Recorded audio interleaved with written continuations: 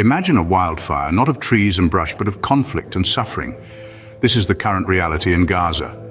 The UN aid chief, Martin Griffiths, has likened the situation to a wildfire, threatening not only to engulf Gaza, but also to spread across the region. The ongoing war, now in its fifth month, has left the territory in a state of turmoil.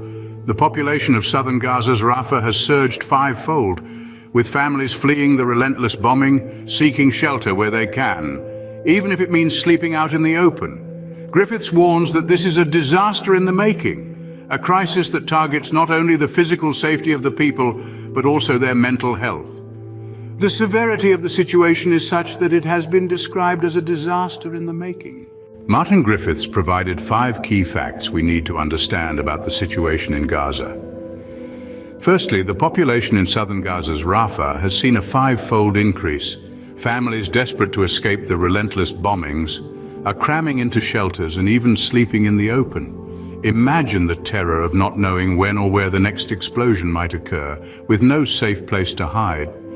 Secondly, the living conditions in the region are dire. The increase in population has led to overcrowding, straining already scarce resources. The lack of access to food, water, shelter and medicine is a disaster in the making, threatening not only physical health but also mental well-being. Thirdly, the potential war crimes committed cannot be ignored. Indiscriminate bombing of densely populated civilian areas and depriving the population of essentials for survival may amount to war crimes. This is a serious allegation that needs urgent investigation and response. Fourthly, Griffiths emphasizes that humanitarian aid alone is not enough. While it provides immediate relief, it doesn't address the root causes of the conflict or provide a long-term solution. The massive needs, pervasive insecurity and persistent access constraints call for a more comprehensive approach. Finally, the threat of the conflict spreading is real.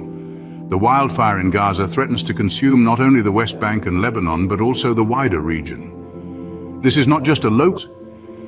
These facts paint a stark picture of a region under siege where life is becoming increasingly untenable. The United Nations has sounded the alarm on the rapidly deteriorating humanitarian situation in Gaza. The United Nations Security Council is deeply concerned about the dire conditions, marking an escalation in an already critical state of affairs.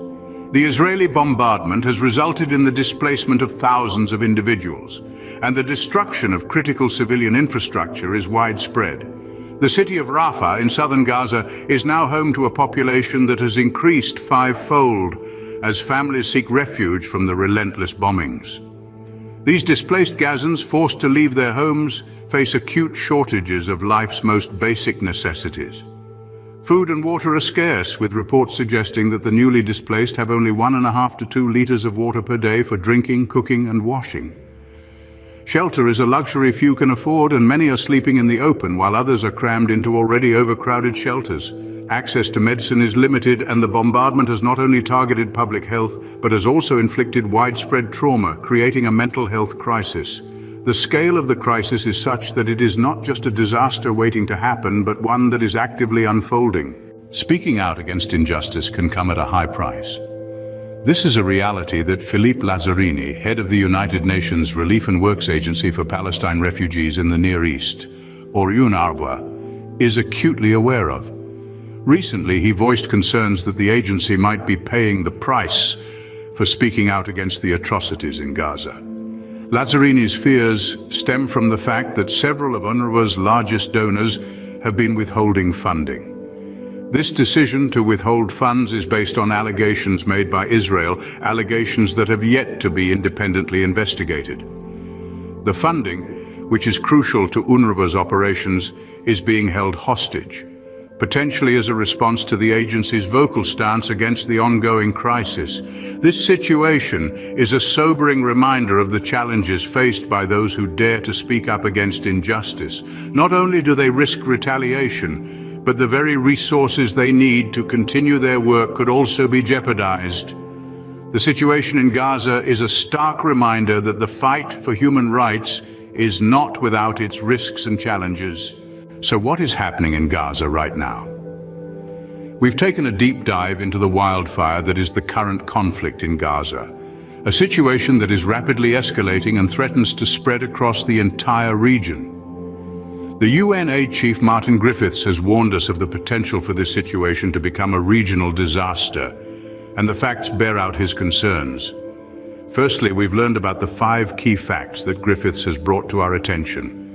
The population of southern Gaza's Rafah has increased fivefold as families desperately try to escape the relentless bombings by seeking refuge in crowded shelters or braving the elements to sleep in the open. The toll this takes on public and mental health is nothing short of a disaster in the making. Furthermore, the massive needs of the people, coupled with pervasive insecurity and persistent access constraints, mean that humanitarian aid, while crucial, is not enough to alleviate the situation. The indiscriminate bombing of densely populated civilian areas and depriving Gaza's population of the essentials for survival may amount to war crimes. The conflict is a veritable wildfire threatening to consume not just Gaza, but the West Bank, Lebanon, and the wider region. The humanitarian crisis is dire and rapidly deteriorating. The United Nations Security Council has sounded the alarm about the situation in the Gaza Strip. The United Nations Relief and Works Agency for Palestine Refugees in the Near East, led by Philippe Lazzarini, has questioned whether the agency is being punished for speaking out as several of its largest donors have withheld funding over allegations made by Israel that have yet to be independently investigated. The situation is further complicated by the ongoing Israeli bombardment, which continues to result in civilian casualties, displacement, and the destruction of civilian infrastructure. Rafah is now hosting over half of Gaza's population, five times its population prior to the start of the Israeli onslaught in the Strip. 67% of the Gaza Strip has been placed under Israel's evacuation orders, displacing 1.78 million Palestinians who called this area home before the start of the war. The displaced Gazans face acute shortages of food, water, shelter and medicine. The United Nations Children's Fund has reported that most of the newly displaced have just one and a half to two litres of water per day for drinking, cooking and washing. There's also been a significant increase in cases of chronic diarrhea among children, further compounding the health crisis. The toll on human life is staggering. Since the start of the offensive, close to 27,585 Palestinians, mostly women and children, have been killed and 67,000 others have been injured. Thousands more are missing and presumed dead under the rubble.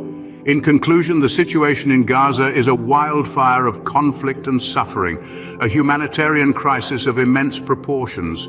It's not just a local issue, but a regional and global concern. It requires urgent attention and action from the global community. We can't afford to stand by and watch as the wildfire in Gaza threatens to consume the whole region.